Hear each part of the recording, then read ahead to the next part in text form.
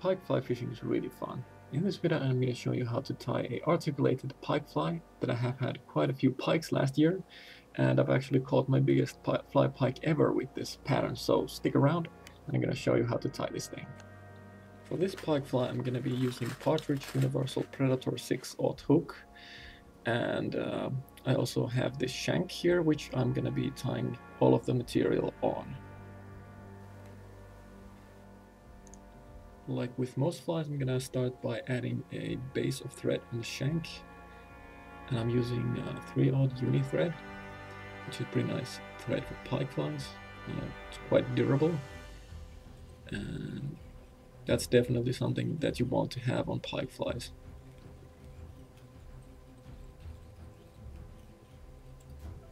And let's just clip that off.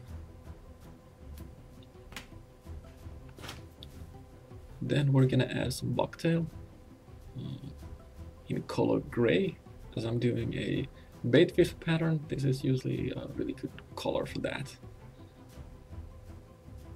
I'm gonna take a decent bundle of, of um, bucktail here, and we're gonna tie this in a hollow style, so the ends of the bucktail are gonna be facing forwards. I'm gonna try to distribute this thing all around the shank evenly.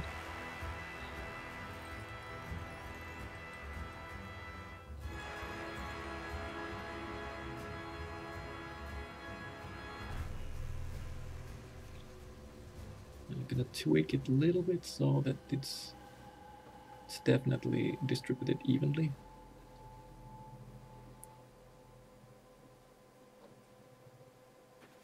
So then I'm gonna clip the ends off here.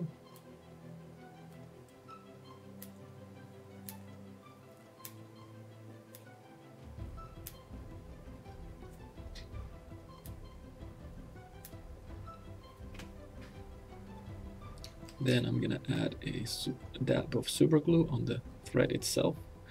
I actually learned this trick from a Finnish pike angler, uh, Johan Lindqvist, Thanks Johan, this is a great tip. And then we're gonna force the bucktail backwards like this. And I'm gonna start building thread on the front of the uh, bucktail here, so you don't actually want to tie uh, on top of the bucktail so that you get this cool uh, corona effect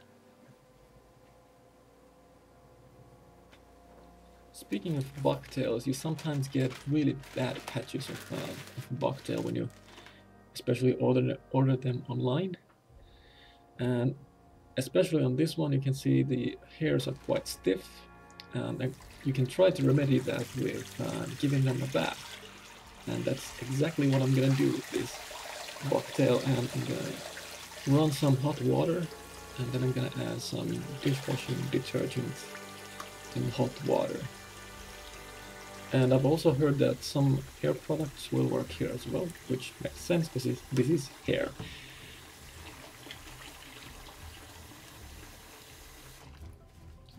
I just submerge the bucktail and start moving the hairs.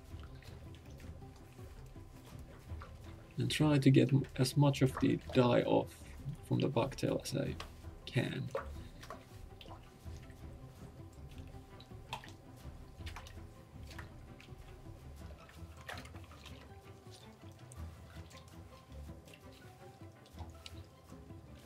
And as you can see, the water is starting to turn blue.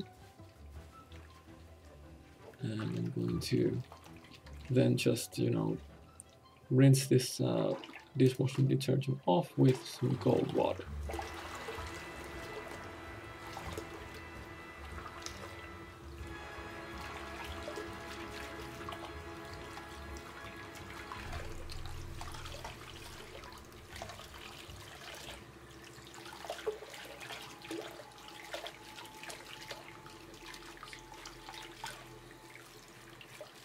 And then of course it's just a matter of leaving it to dry until you can use it again.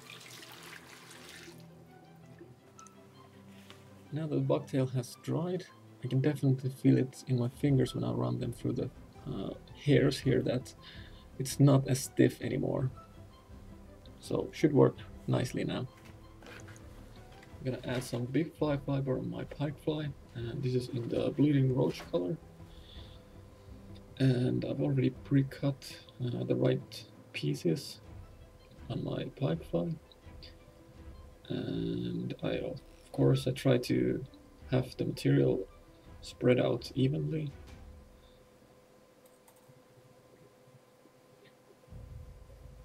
And I think I do this a little bit differently than most uh, pike fly uh, anglers where I fold the, the material like this. And I'm convinced that this actually makes the fly much more secure and also gives it much more bulk with less material which is definitely always good for for pike fly fishing because uh, well they tend to be rather large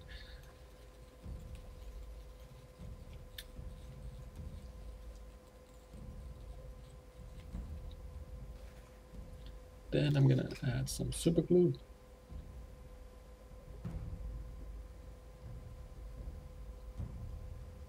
And also, since this is not gonna be a 30 centimeter pike fly, I'm gonna snip a little bit off from the from the tail.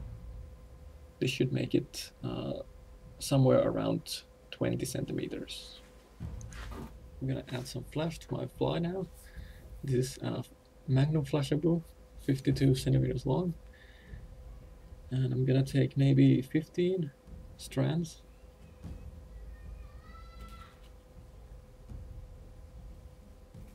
And then I'm going to just fold this in half and cut it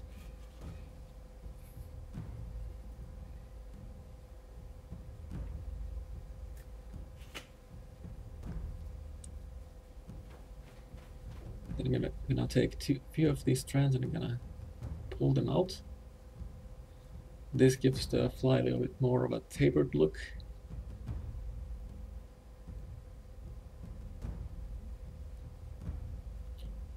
Then it's just a matter of uh, securing the flash on the shank. This is sometimes a little bit tricky, especially when you try to distribute this thing evenly around the big fly fiber.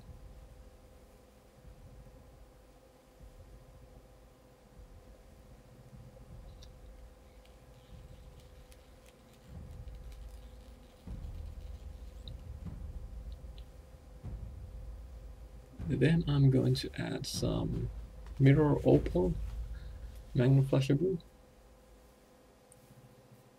Also one of my favorite colors.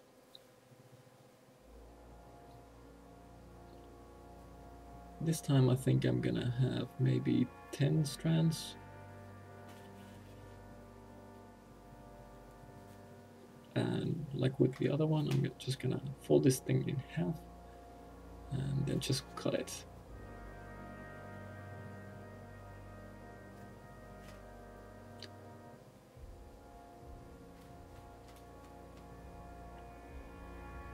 And take few of these strands and just pull it so that the fly is not gonna get clumped.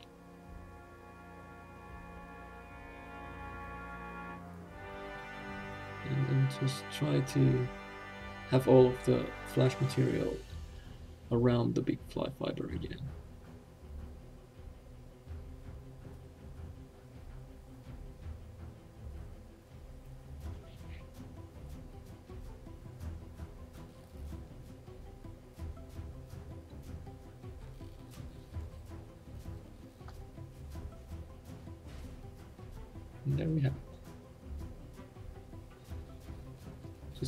Just this and then of course add super glue.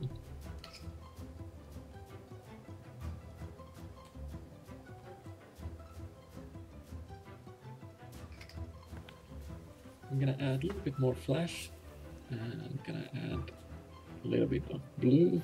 Uh, this is actually teal blue. I think I'm gonna take five strands roughly and like always gonna cut it and then just fold it in half and cut it again.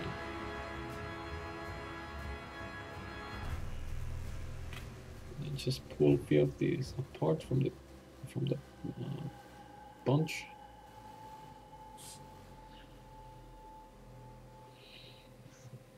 And then just folding it and then just securing the flash in the place. And this time around, I'm gonna try to distribute it evenly and making this as the back color as this is sort of like supposed to be a bait fish pattern. I'm gonna add some Keough 1 grade uh, saddle feathers on my pikefly to make it a little bit more pimped out. Uh, these are definitely not necessary, but they do give a really cool look to your pikefly.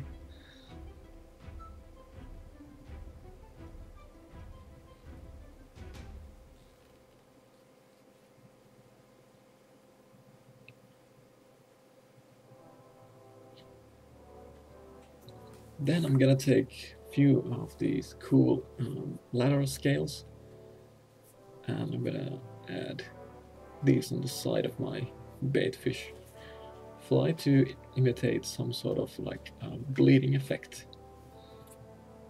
That's uh, that's what I guess these are for, mostly.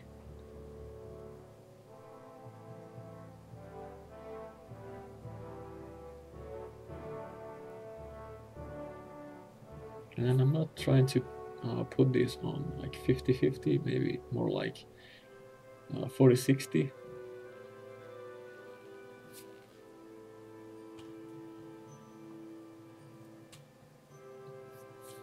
uh, do the same thing to the other side as well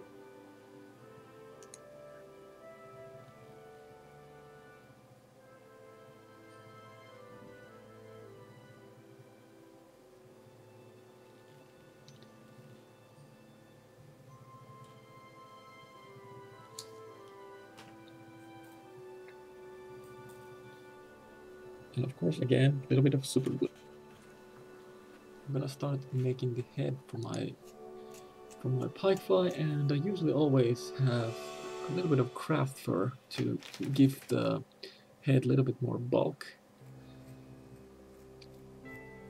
And uh, when you're using craft fur uh, I think this fluffy part on the bottom is definitely not necessary. It gives it soaks in a lot of water so that makes your flies much more heavier.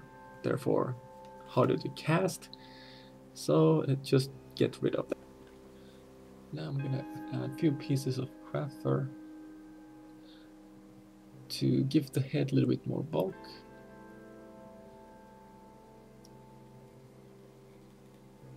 And as always I try to make sure that I have an even coverage. So I'm gonna add another piece on the bottom here as well so that my shank is completely covered from from all the sides.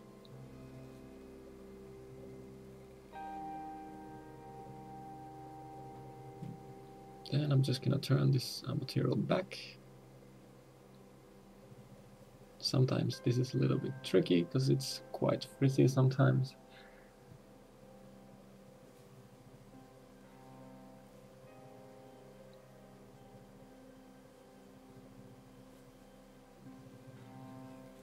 And then I'm just gonna tie in front of the craft fur.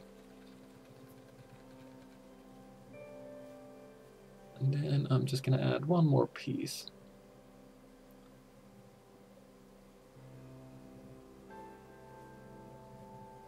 And of course try to make sure that it's uh, distributed evenly around the shank. And then just pull this thing back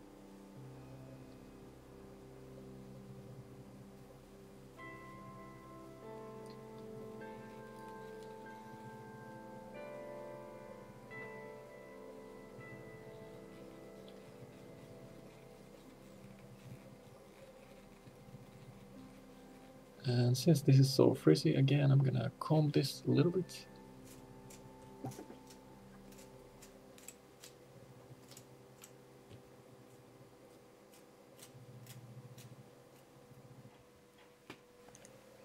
And the last material I'm gonna be using is gonna be wing and flash. And I'm gonna First take a fairly uh, big uh, clump of uh, wing and flash.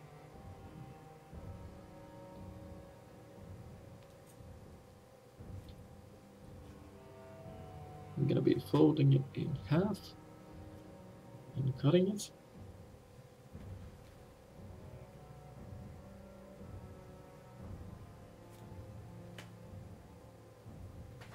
Then I'm gonna be pulling it apart.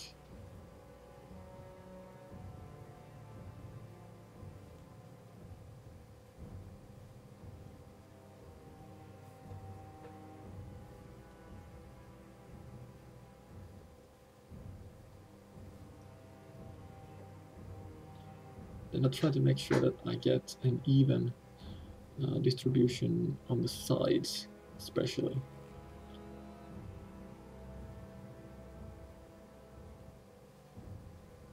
I just fold it back and you know, um, secure it in place. Then I'm gonna add a couple of more colors.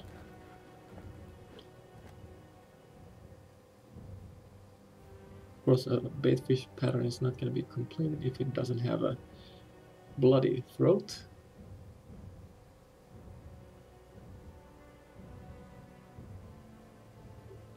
So this is also wing and flash, by the way.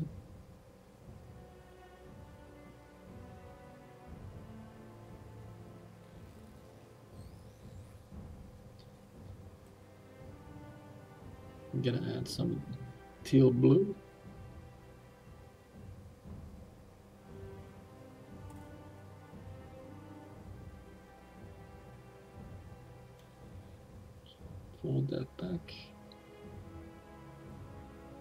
And um, secure it with thread.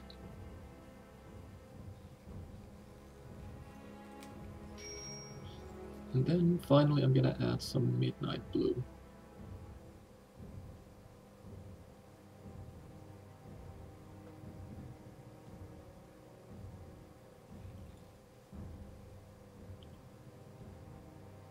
And like before, just fold it back.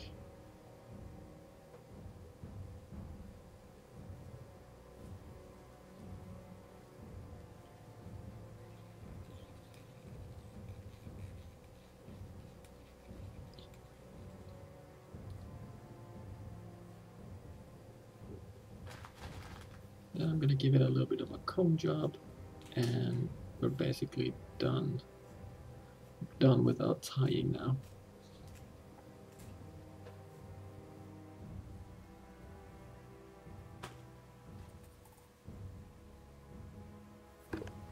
No pike fly is completed without eyes, so next I'm gonna be adding some homemade eyes to my pike fly. And this usually makes your flies really pop and of course uh, I'm convinced that these eyes actually give a homing uh, spot for the pike to strike. So it's usually I think uh, it's a good idea to add at least some sort of eyes on your pike fly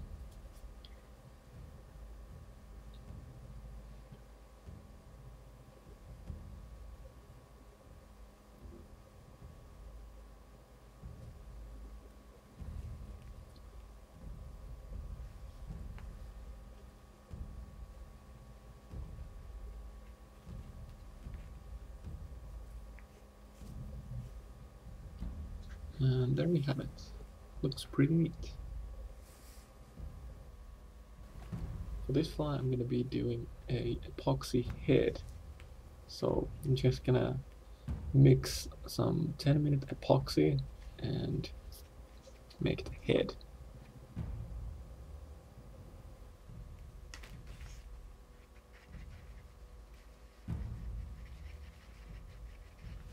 I'm gonna start adding the epoxy on my uh, pike fly's head. Usually always start from the front and then just slowly work myself to the back of the eyes.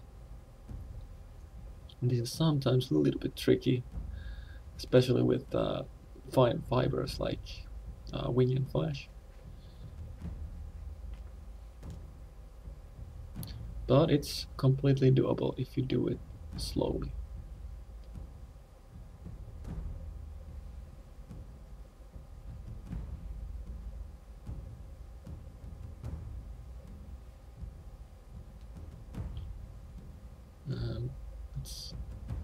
do the same to the uh, underside of the, of the fly.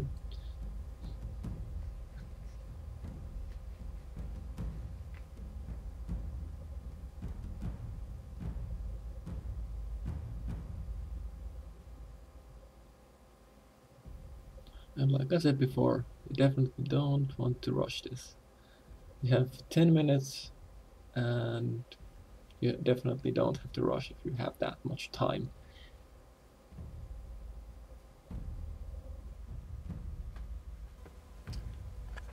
So the fly is done now, and unfortunately something happened with uh, with my camera while I was transferring the files to my computer, and the last clip got deleted. So can't show you uh, how to finish off the epoxy head, uh, but it's not that difficult to do at, at all. Basically, just repeat what I did previously, and then just you know remember to uh, keep the vise rotating uh, until the epoxy has cured enough that it doesn't flow anymore. So we get this uh, nice looking epoxy head that I have here. And it looks pretty nice. Should be, I mean, not should be, it, it is ready for, for pike fishing now. And uh, yeah, hope you guys enjoyed this little tie fiasco of mine. And be sure to subscribe, like, and comment, and all that stuff. And I'll see you guys on the next one.